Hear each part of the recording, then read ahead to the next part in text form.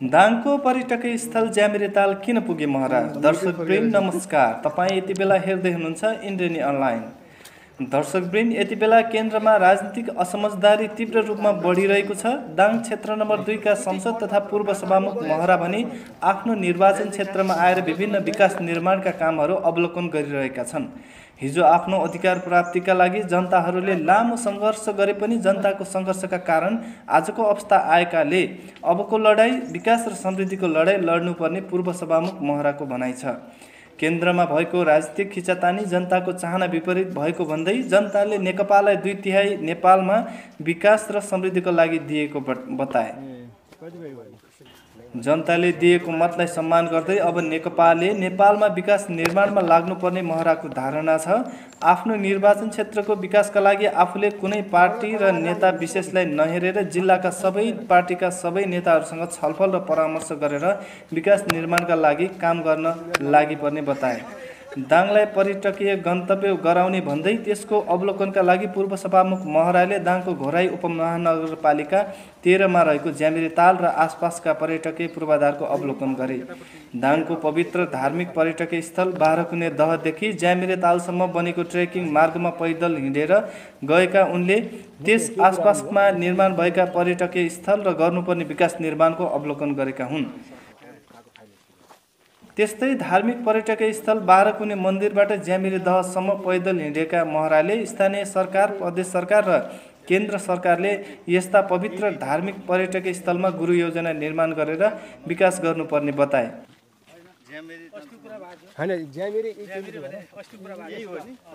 अवलोकनकै क्रममा यो क्षेत्र पर्यटकीय क्षेत्र बनाउनका लागि निकै उपयुक्त भएको भन्दै यसको विकासका लागि आफूले तिनै तहका सरकारलाई अनुरोध गर्ने बताए। ज्यामिरे दहमा डुङ्गाबाट जलयात्रा समेत गरेका महराले यस क्षेत्रलाई जिल्लाकै प्रमुख पर्यटकीय स्थल बनाउनु पर्ने बताए। दाङ क्षेत्र नम्बर दुईका प्रतिनिधि सभा सदस्य महराले गुरु योजना अनुसार यसलाई अघि बढाउन आफू प्रतिबद्ध भएर लाग्ने बताए। घोराई उपमहानगरपालिकाको लगानीमा करिब एक हजार मिटर लम्बाइ र पैँतिस मिटर गहिरो कृत्रिम जलाशय बनेपछि ज्यामिरे अहिले पर्यटकीय क्षेत्रको रूपमा स्थापित भएको छ। सो क्रममा घोराई तेह्रका अध्यक्ष रविलाल घरती र सदस्य केशव विशी घोराई बाह्रका अध्यक्ष राजेन्द्र बुढा वन समिति अध्यक्ष दयाजी रोका लगायत स्थानीयले यो क्षेत्रलाई महत्त्वपूर्ण पर्यटकीय स्थलको रूपमा विकास गर्न सरकारले अझै सहयोग आवश्यक परेकोले पहल गरिदिन अनुरोध गरेका थिए।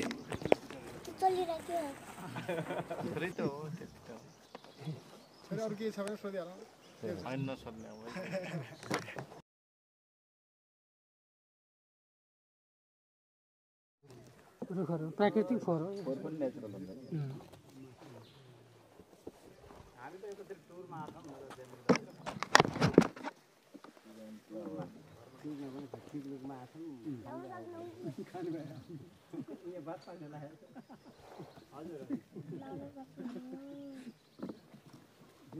अरू एक राउन्ड पनि लगाउँ है। धन्यवाद। सबै कम्पनी बिर्सियो भन्दा आउँछ। राली फोहोर भएर छ नि। ओहो। म यति दिन यहाँ दवा आएर यो यहीँ छ भने नथाहा भएर नयाँ कुरा थाहा भयो। यो यो थाहा माथि। ए यो माथिको भने। होइन यो यताबाट यो सर्टकट बाटो खनेरै खोले आयो नि भन्ने हो तर यो चाहिँ सफा गर्ने भएर चाहिँ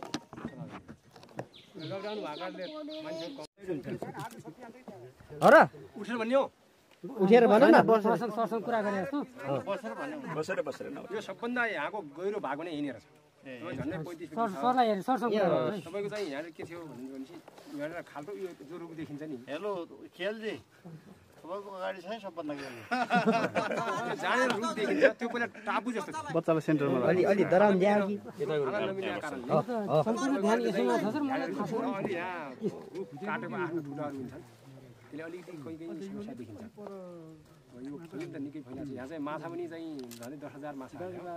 त्यो प्राकृतिक माछाले यो हालेको माछालाई खाइदिने रहेछ हेर्नुहोस् अनुमानित कति होला अनुमानित तपाईँको ध्यान धेरै छन् तपाईँको चाहिँ मार्ने उ गर्ने गरिरहेका छन् मार्न सकिन्न।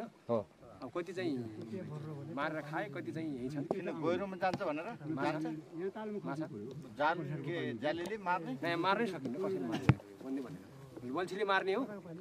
उत्पादन हुने कुरा धरायो। अब घटिएर कति भयो होला भन्ने कुरा?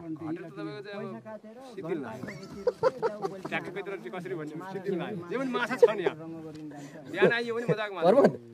केटाहरू आइन्छन् माछा हालिदिउँ भने चाहिँ अर्को त्यो जुङ्गे माछा हालिदिएछन्। उसले त कपाको खान्छ कि अरू माछालाई? एउटा राख्दैन त्यो मात्रै होला अहिले। न त त्यसले बल्छी खान्छ। अँ। फ्रीमा माछा माछा हालिदियो भने त्यो हालिदिएछन् जुङ्गे माछा यताबाट आउटलेट पहिला आउटलेट भुइँबाट थियो हामीले चाहिँ त्यो कालो पाइप हाइड्रो पावर हाल्ने पाइप हालेको थियौँ त्यो पाइपले चाहिँ काम नगरेको थियो अनि नब्बेको हिँड पाइप हाल्छ म यहाँ बसौँ। पैँतिस मिटर अब यसको चाहिँ हजुर भने कति भयो पचहत्तर अहिले हजार सरले भने जस्तै सरकारको मात्र आश नगरेर यो प्राइभेट सेक्टरबाट पनि गर्ने कुरा प्राइभेट के हुन्छ भने प्राइभेटमा पैसा धेरै हुन्छ। उनले के गर्छन् भने जस्तो उनले एक करोड वार्षिक आम्दानी गरे भने बिस लाख रुपियाँ त बल्ल दिन्छ। अस्सी उनले खान्छ। त्यो शर्तमा आउँछ पाउँछ त्यस्ता खोज्नुपर्छ त्यस्ता खोज्यो भने आउन सक्छन्। अब सरकारको त अलिअलि गर्दै। धेरै तब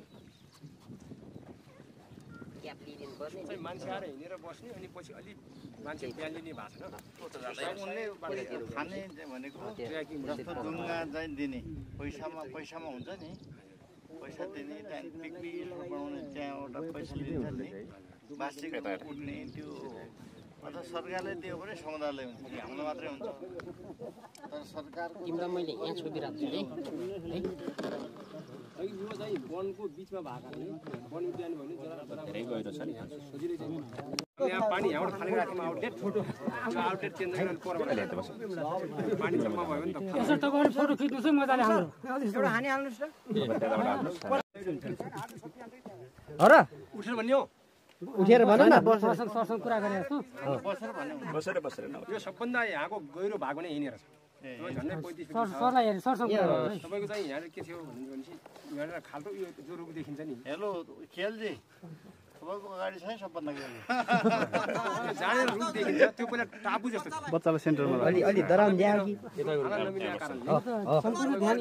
अनि यहाँ रुख काटेको आफ्नो ठुटाहरू हुन्छन् त्यसले अलिकति कोही कोही समस्या देखिन्छ यो फुल त निकै फैलाएको छ। यहाँ चाहिँ माछा पनि चाहिँ झन् दस हजार माछा। त्यो प्राकृतिक माछाले यो हालेको माछालाई खाइदिने रहेछ हेर्नुहोस्। अब अनुमानित कति होला? अनुमानित तपाईँको ध्यान धेरै छन्। तपाईँको चाहिँ माछा त मार्ने उ गर्ने गरिरहेका छन् मार्न सकिन्न। हो। अब कति चाहिँ मारेर खाए कति चाहिँ यहीँ छन् किन गहिरोमा जान्छ भनेर? जान्छ माछा। जान के जालीले मार्ने? सकिन्न कसरी मार्ने। बल्छीले मार्ने हो। उत्पादन हुने कुरा धरायो। अब घटिएर कति भयो होला भन्ने कुरा। हटेर त तपाईँको चाहिँ अब सिद्धिल लाग्यो ट्याक्कै पेत्र चाहिँ कसरी भन्ने सिद्धिल लाग्यो जे पनि माछा छ नि यहाँ। बिहान आइयो भने मजाको माछा। पर्वत केटाहरू आइन्छन् माछा हालिदिउँ भने चाहिँ अर्को त्यो जुङ्गे माछा हालिदिएछन् उसले त कपाको खान्छ कि अरू माछालाई एउटा राख्दैन। त्यो मात्रै होला अहिले। न त त्यसले बल्छी खान्छ? फ्रीमा माछा हाल्ने भनेर हाल्ने अँ, फ्रीमा माछा हालिदियो भने त्यो हालिदिएछन् जुङ्गे माछा। यताबाट आउटलेट पहिला आउटलेट भुइँबाट थियो। हामीले चाहिँ त्यो कालो पाइप हाइड्रो पावर हाल्ने पाइप हालेको थियौँ। त्यो पाइपले चाहिँ काम नगरेको थियो अनि नब्बेको हिँड पाइप हाल्छ। म यहाँ बसौँ।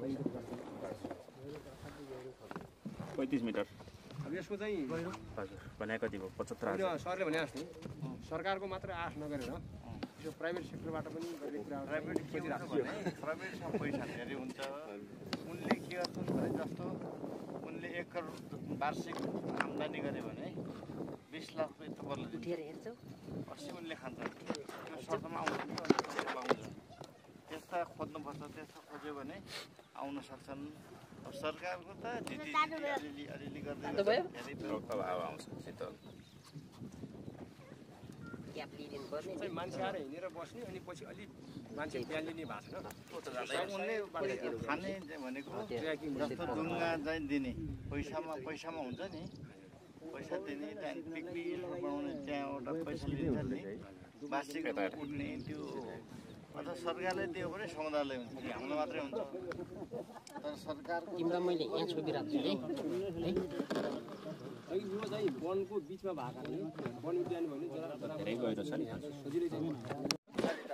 जनक भाइ सानो मान्छेको पनि फोटो आउने गरी त्यस्तो चस्मालाई मान्छेले चिन्दैन अनुहार त सबैले चिन्दैन।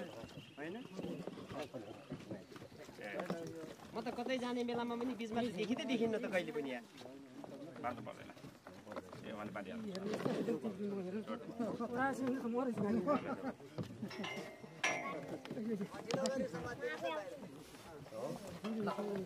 आफै जान सक्छौ अरे बाबु त महान खतरा रहेछ यार।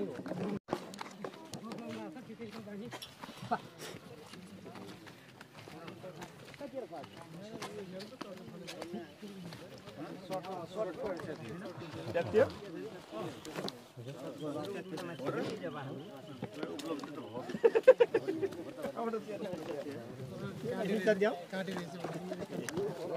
नमस्ते